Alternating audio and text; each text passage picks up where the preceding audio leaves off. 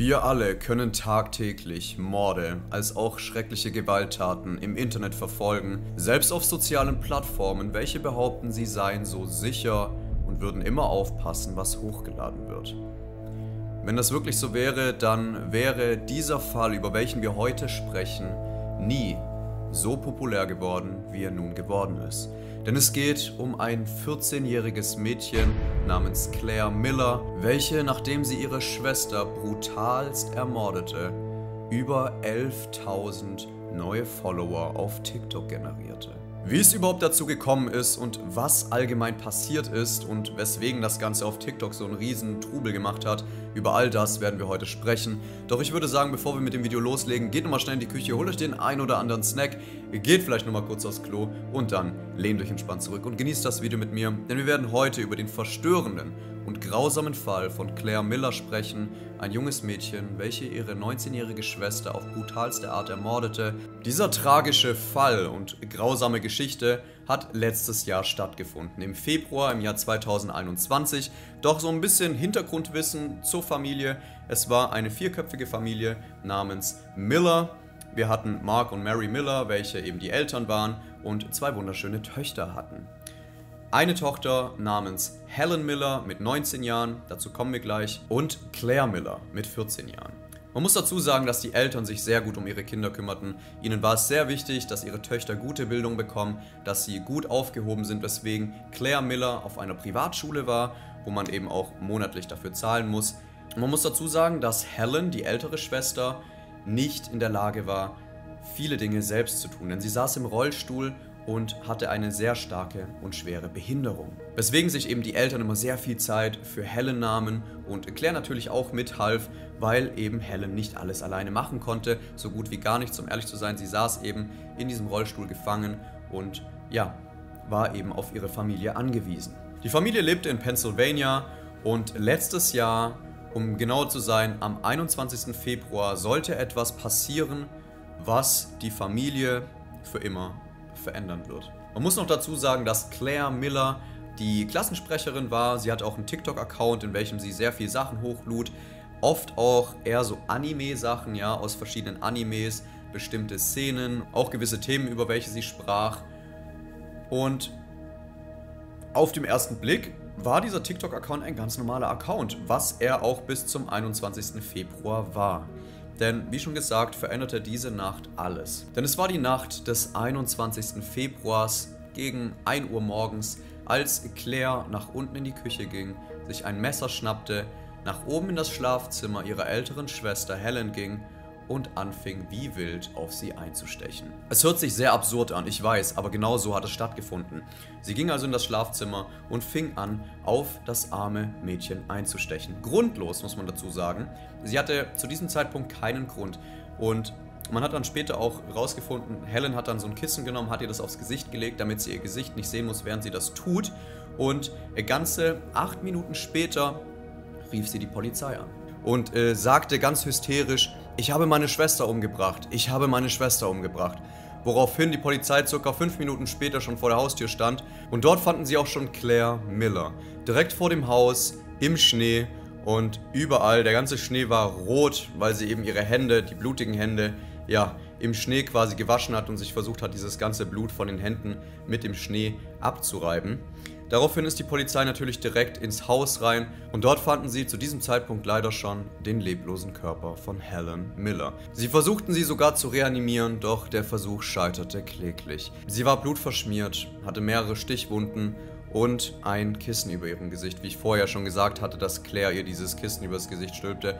Die Polizei machte das natürlich weg und konnte relativ schnell sehen, dass das Messer immer noch in ihrem Körper steckte, denn das Messer steckte noch immer im Hals.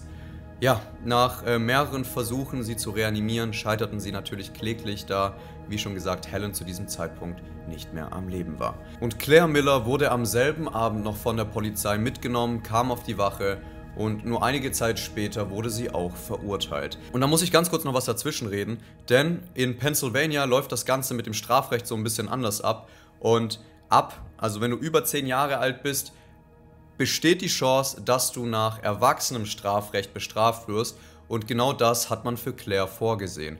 Denn man sagte, die junge Dame ist 14, sie hat ihre Schwester umgebracht und scheint extrem psychisch krank zu sein.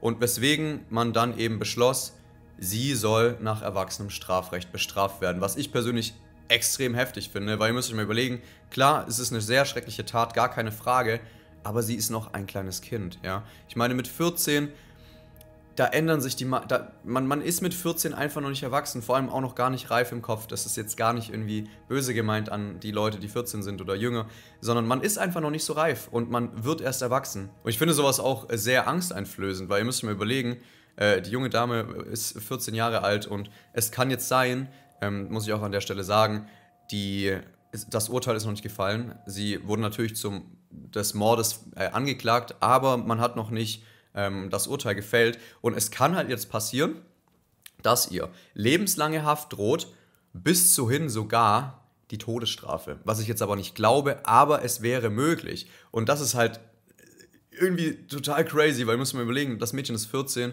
gut, inzwischen äh, ja schon ein bisschen älter, aber Todesstrafe? Also ich habe das jetzt nur mal so in den Raum geworfen. Das wurde nicht gesagt, dass sie die Todesstrafe bekommt oder was sie allgemein für eine Strafe jetzt erhält aber man kann auf jeden Fall mit lebenslanger Haft rechnen. Zudem hat man auch gesagt, dass sie definitiv eine psychiatrische Betreuung benötigt. Denn alle sind der Meinung, sie scheint nicht mehr ganz dicht zu sein, weswegen sie auf jeden Fall ähm, ja, neben der Haftstrafe natürlich noch eine psychiatrische Betreuung benötigt. Ja, sie sitzt bis heute noch immer hinter Gittern und wartet auf das Urteil, denn das ist bis heute noch nicht gefällt und das ist alles noch so ein bisschen im Laufe. Man weiß nicht, was sie bekommen wird. Viele rechnen damit, dass sie sogar eine lebenslange Haftstrafe bekommen könnte, weil eben das Strafrecht dort eben ein bisschen anders abläuft in Pennsylvania, weswegen sie eben wie ein Erwachsener behandelt wird. Ja, und nur ganz kurz nach ihrer Tat ging sie auf TikTok extrem viral. Denn es sprach sich natürlich überall rum. Alle wussten auf einmal, Claire Miller ist eine Mörderin, sie hat ihre Schwester umgebracht und hat einen TikTok-Account. Und die ganzen Leute stürmten auf den Account, wollten Sachen rausfinden, schauten sich ihre Videos an. Unter anderem tauchten sehr merkwürdige Videos auf, von welchen man bis heute nicht genau klären kann, ob Claire diese wirklich hochgeladen hat oder ob man sich da irgendwie nur irgendwo verrannt hat und Leute Sachen vertauscht haben aber anscheinend soll es Videos auf Claires Account gegeben haben von einem Szenario, wo du quasi mitten in der Nacht ein Giraffenplüschtier, welches ebenfalls in Blut getränkt ist. Sehr viele assoziieren dieses Video mit dem Account von Claire. Ob das Video jetzt wirklich von ihr aufgenommen wurde, ist schwierig zu sagen. Andere sagen, dass nachdem Claires Account gelöscht wurde, diese Videos erst entstanden sind von anderen Accounts und es ist schwierig zu sagen, was jetzt wirklich dahinter steckt. Nichtsdestotrotz finde ich es extrem krass, dass all diese ganzen Videos, die auf Claires Account waren, unter anderem auch anscheinend dieses, dieses Giraffenvideo, ähm, dass diese Videos extrem lange noch auf TikTok sichtbar waren und TikTok einfach nichts dagegen gemacht hat. Ich finde halt, der TikTok-Algorithmus und TikTok spricht ja immer davon, dass sie so sicher sind und wir passen auf unsere Nutzer auf, dass da nichts Böses gezeigt wird. Aber wie kann es dann bitte sein, dass ihr diese Videos so lange auf TikTok lasst? Und jetzt kommen wir zum Knaller. Denn kurz nach dem Mord generierte Claire Miller auf TikTok mehr als 11.000 Follower. Das müsst ihr euch mal überlegen. Es sind über 11.000 Menschen auf ihr Profil gegangen, die sich gedacht haben, oh, der folge ich jetzt, das ist ja super cool. Das müsst ihr euch mal überlegen. Sie hat ihre Schwester umgebracht und Leute sind auf diesen Account gegangen und haben ihr gefolgt. Und sie hat nur kurze Zeit nach dem Mord über 11.000 neue Follower gehabt. Das ist. Die heutige Generation ist einfach. Das ist so crazy irgendwie. Ich, ich kann's. Ich, ich krieg's einfach nicht in den Kopf. Das ist so geisteskrank. Und äh, ja, nichtsdestotrotz hat es eine ganz schöne lange Zeit gedauert, bis TikTok tatsächlich Claires Account gelöscht hat. Es hieß, weil sie eben gegen die Nutzungsbedingungen verstoßen hat, ob es wirklich so ist, man geht eben davon aus, dass eben diese Videos, die Claire hochgeladen hatte, die sind halt eben viral gegangen, weswegen TikTok dann die Alarmglocken geleuchtet haben und sich gesagt haben, oh, das ist ja nicht rechtens, sollten wir vielleicht lieber löschen. Nichtsdestotrotz wurden die ganzen Videos von Claire natürlich runtergeladen und es gab ganz viele weitere Accounts auf TikTok, die eben ihre Videos re-geuploadet haben und somit ist das so ein Teufelskreis, weswegen ich immer sage, Social Media ist mega gefährlich, passt immer auf, was ihr auf Social Media hochladet, denn es kann immer sein, dass irgendeine Person es runterlädt und es für immer hat und es immer wieder veröffentlichen kann. Und so war es bei Claire Miller genauso. Die Tat wurde vollbracht, der Account wurde gelöscht, doch es wurden immer wieder neue Accounts erstellt, in welchen die Videos hochgeladen wurden. Und wie schon gesagt, äh, droht äh, Claire jetzt wahrscheinlich eine extrem heftige Haftstrafe nach erwachsenem Strafrecht. Später kam auch raus, dass Claire gesagt haben soll, dass sie entweder jemanden umbringt oder sich selber umbringt. Und wenn das nicht funktioniert, dass, dass sie jemandem das Leben nimmt, dann würde sie sich selbst das Leben nehmen. Das war das, was sie gesagt hatte, weswegen sehr viele Leute auch davon ausgegangen sind oder auch die Leute vor Gericht haben dann auch gesagt, hm, sie stellt schon so eine kleine Gefahr dar, weil sie eben diese Intentionen hat, jemandem etwas zu tun. Sie hat schlussendlich jemandem geta etwas getan, ihrer Schwester. Und ja, der Fall ist bis heute noch nicht geklärt. Sie wartet, wie gesagt, immer noch auf ihre Strafe. Und wann das Ganze passiert, können wir so nicht sagen. Ich bin sehr gespannt, was für einen Verlauf dieser Fall haben wird, ob sie jetzt tatsächlich nach Erwachsenenstrafrecht verurteilt wird, was zu 99% sicher ist. Was für eine Haftstrafe sie bekommen wird, das werden wir alles im Laufe der Zeit irgendwann rausfinden. Wir wissen ja, solche Prozesse dauern immer sehr, sehr lange. Doch kommen wir nun ganz kurz noch zu zwei Theorien. Theorien, weswegen Claire Miller dies getan hat. Beziehungsweise drei Theorien. Theorie 1 ist, dass sie eben sehr stark an Depressionen litt und eine sehr starke mentale und psychische Störung hatte, weswegen, wie schon gesagt, sie damals ja auch meinte, hey, entweder ich bringe jemanden um oder ich bringe mich selber um. Und dieser Drang, einfach genau dies auszuführen, so hoch war, dass sie es eben ihrer Schwester antat. Theorie 2 ist, dass sie eifersüchtig auf ihre Schwester war und der Meinung war, hey, ich will genauso viel Aufmerksamkeit von Mama und Papa bekommen wie meine Schwester. Und das soll sie einfach genervt haben und sie war so eifersüchtig, dass sie sich gesagt hat, ich werde meiner Schwester jetzt das Leben nehmen, damit sich meine Eltern nur auf mich konzentrieren, damit es nur noch mich als ihr Kind gibt.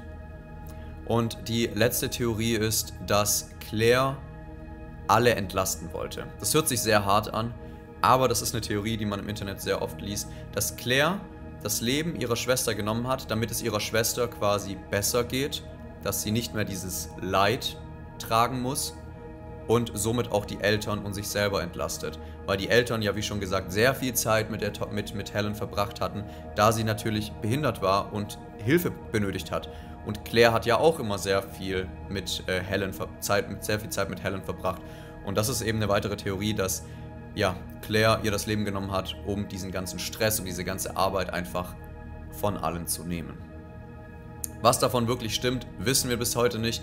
Claire hat nie wirklich irgendwas zu dem Fall gesagt. Vielleicht wird sie irgendwann aussagen und uns erklären, was passiert ist. Doch bis jetzt bleibt alles ja, erstmal ungeklärt und ich bin sehr gespannt, wie der Fall enden wird. Und das war es auch schon mit dem Video, meine Freunde. Ich hoffe, es hat euch gefallen. Ich hoffe, ihr fandet es interessant. War einfach mal so ein Fall, der eben relativ aktuell ist und ich wollte schon sehr lange darüber sprechen. Ich habe mal auf TikTok darüber gesprochen und sehr viele Leute fanden es sehr interessant. Deswegen dachte ich mir, hey, vielleicht findet ihr das hier auf YouTube auch sehr cool. Ja, wie auch immer, das war's mit einem weiteren True Crime Fall. Wenn ihr natürlich weitere True Crime Videos sehen möchtet oder allgemein irgendeinen Fall kennt, wo ihr denkt, Dennis, du musst unbedingt davon erzählen, wir wollen wissen, was dort wirklich passiert ist, dann schreibt es sehr gerne unten in die Kommentare. Und in dem Sinne würde ich sagen, vielen Dank fürs Einschalten. Es hat mir sehr viel Spaß mit euch gemacht. Ich liebe euch über alles. Bleibt gesund. Und wenn ihr Bock habt, könnt ihr den Kanal sehr gerne abonnieren. Wir sind so kurz vor 200.000 Abonnenten, was absolut geisteskrank ist. Und ich krieg das einfach nicht in meinen Kopf. Zudem möchte ich mich an dieser Stelle natürlich wieder bei meinen Patreon-Mitgliedern bedanken, vor allem die Patrons der Stufe 2 und 3 und das wären Bibi Spooky Gamer Girl, BK201, Caroline, Crowrina, CX Sensor, Gülgün, Heiner Schade, Major Kai, Patrick und Jenny 2017, Pyro Jan 95, Sodi 92 Anna, Tombi 27 Jacobi, Thorsten Hocklas, Aliokto, Angelina R, Babsi Butterfly, Daniel, Das Mariechen, Edegier 85, Ella, Enger, Fabienne Janitza Würsching, Go Hard, Hassan Fidan, Yannick Peters, Jenny Do, Joanne M, Joel Schnell, Junada Luna, Kai, Kim S, KK 1987, Q Rapcar, Lea, Mandy 172, Markus Pyrasch, Matthias HM, Max, Meyer 5000, Mira Jane, Necro V1, Oxy, Passi, Philipp Hershey, Release, Sangis Angelus, Sina Beck, Strubbelhaar, Susi Novakovic, Thiago Fernandez, X Louis, Victor Xenia und Zeffi Rau, VTuber. Vielen, vielen Dank an dieser Stelle. Wie auch immer, vielen Dank für alles. Ihr seid die, Ihr seid die Besten. Ciao, ciao. Junge, Junge. Tschüss.